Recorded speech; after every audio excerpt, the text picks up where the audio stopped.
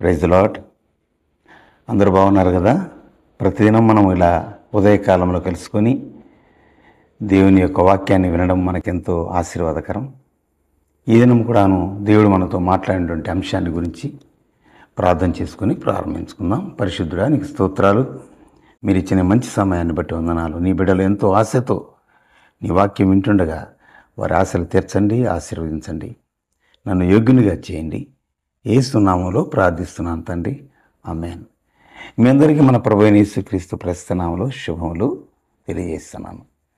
ఇవాళ వాక్య భాగము ఇరిమియా గ్రంథము తొమ్మిదవ అధ్యాయము ఇరవై మూడు నుంచి ఇరవై నాలుగు వరకు మనం చదువుకుంటే యెహోవా ఇలాగ సెలవిస్తున్నాడు జ్ఞాని తన జ్ఞానమును బట్టి శూరుడు తన శౌర్యమును బట్టి ఐశ్వర్యవంతుడు తన ఐశ్వర్యమును బట్టి అతిశయించకూడదు. మరి దేన్ని బట్టి అతిశయించాలి అంటే ప్రభు అంటాడు భూమి మీద కృప చూపుచు నీతి న్యాయమును జరిగించు ఉన్నటువంటి యహోవానగు నన్ను బట్టియే నన్ను పరిశీలనగా తెలుసుకుంటూ బట్టియే అతిశయించాలి. ఇట్టి వాటిలో నేను ఆనందిస్తాను అన్నాడు ప్రభు. మనము ఈ లోకంలో అనేక మందిని మనం గమనిస్తున్నాం. వారు వారు తమ స్థితిగతులను బట్టి అతిశయపడుతుంటారు. ఆ అతిశయము ఆ గర్వము వారి పడిపోవుటకు కారణమవుతుంది. వారు పతనమైపోతున్నారు. దేవుడు ఇలాంటి విషయాలు కోరుకోవట్లా. ఆయన చెప్తున్న మాట ఏంటంటే నీ బలము నీ ధనము లేదా నీ బలగము నిన్ను రక్షించలేవు. వాటన్నిటి నువ్వు మర్చిపోవాలి. నువ్వు అసహించవలసిన విషయాల్లో అసహించకుండా అసహించకూడని విషయాల్లో అసహిస్తున్నావు. కొందరు మేము చాలా జ్ఞానులము అంటారు.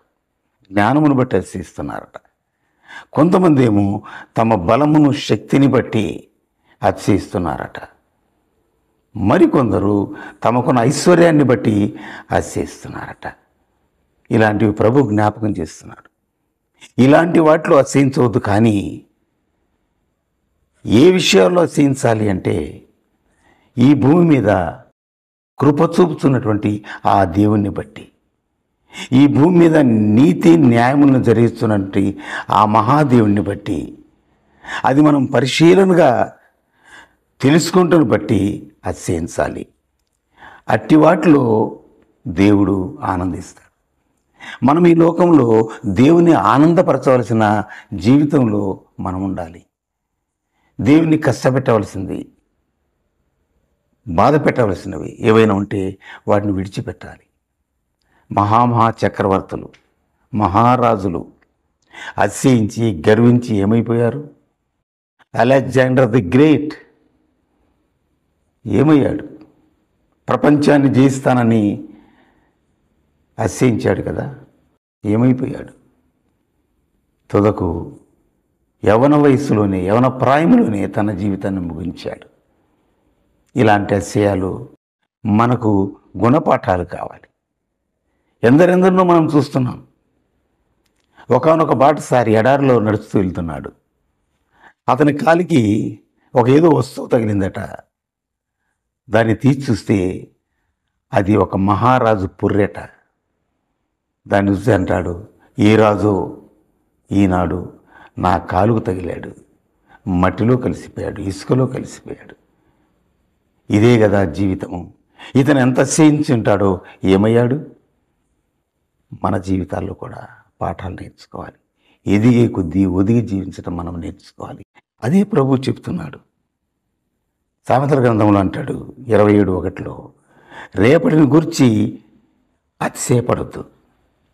ఏ దినము ఏమి సంభవిస్తుందో అది నీకు తెలియదు చూస్తున్నాం కదా మరుసటి రోజు మనం ఉంటా ఉండవో మరుసటి రోజు ఏమి సంభవిస్తుందో మనం చూస్తున్నాం యుద్ధాలు చూస్తున్నాం. జనం మీదికి జనము రాజ్యం మీదికి రాజ్యం.